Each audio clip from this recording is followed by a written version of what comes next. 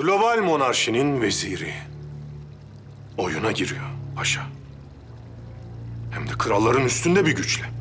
Hünkâr, dünyadaki imparatorlukların krallarının üstünde bir gücü kim verebilir? Para. Tahsin Paşa, para. Dünyada yeni sınırları çizmek isteyenler büyük şirketler. Dünyayı pay ettikten sonra nizamı kurması için birini seçmişler. Zerdüşlerin Ateşhade Tapınağı'nda bir ateş yanar. Yalnızca Fahri Kainat Efendimiz doğduğu vakit sönen. Tekrar harlanan ateş neyin üzerinde yanar bilir misin paşa? Bir neft kuyusunun üzerinde. Kafirler cahiliye döneminden beri bu siyah suya taparlar.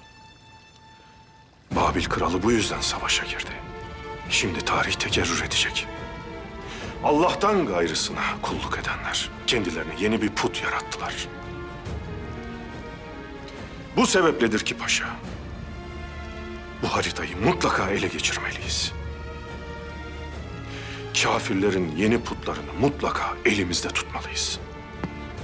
Şimdi Berlin'e, yeğenim Murat ve Söğüt'le evladıma bir telgraf çekiniz. Peşlerindeki adamlara dikkat etsinler. Her ne olursa olsun, canları pahasına o haritayı mutlaka payitahta getirsinler. Emri ferman efendimizindir.